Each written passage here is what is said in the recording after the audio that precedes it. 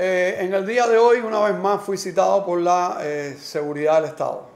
Me citó primero eh, Ernesto, o se identifica como Ernesto por teléfono, hizo varias llamadas insistentemente, una tras de otra.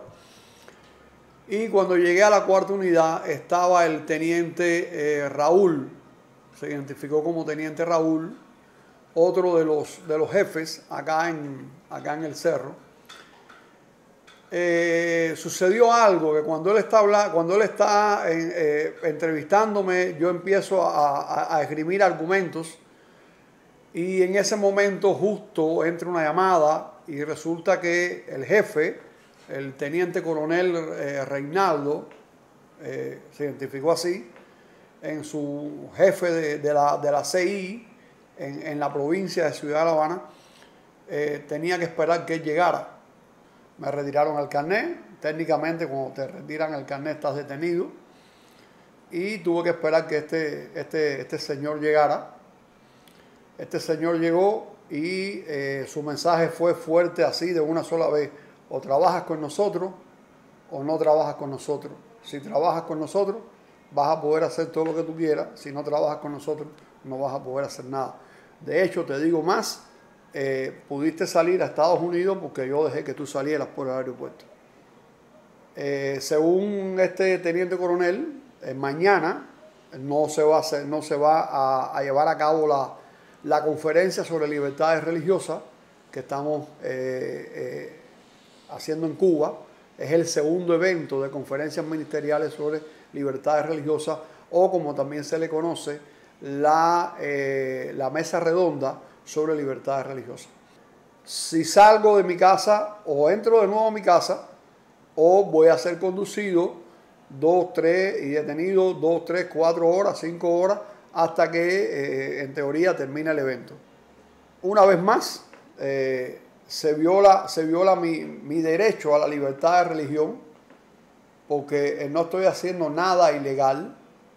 Él hizo mucho hincapié en que somos eh, iglesias que no estamos, que estamos ilegales.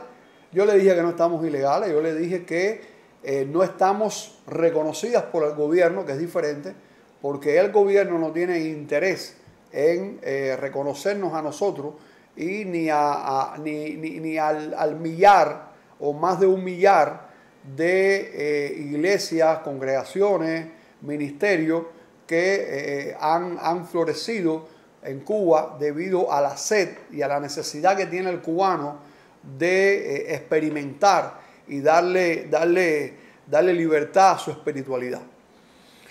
Que eh, lo que estoy haciendo no tiene nada que ver con religión, sino que tiene que ver con hacer contrarrevolución y que ellos no iban a permitir que hiciera contrarrevolución. Que si yo publicaba algo que midiera mucho mis palabras de lo que yo decía, porque ellos también van a publicar entonces, eh, esto abre las puertas a, una, a una posible campaña de difamación en mi contra, en la cual sabrá Dios lo que, lo que ellos vayan a decir, lo que ellos vayan a exponer. Me amenazaron, bueno, eh, ellos eh, nunca amenazan, pero la manera de decir las cosas, la manera de sentarse con, con esa, con ese, con esa eh, autoritarismo, eh, si se quiere, eh, desde esa posición de, yo soy un organismo, yo estoy, yo, yo decido qué sucede y qué no sucede, del otro lado, del otro lado, se siente como una amenaza. Me siento amenazado, me siento amenazado. Siento amenazado mi vida, siento amenazada la iglesia.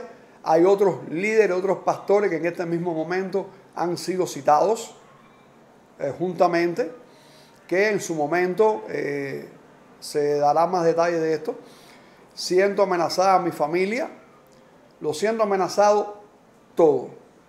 Eh, muy bien claro me dejaron eh, así saber, no pretendas establecer una, un discurso de que eres reprimido políticamente porque las amas de blanco hicieron lo mismo y ¿dónde están ahora?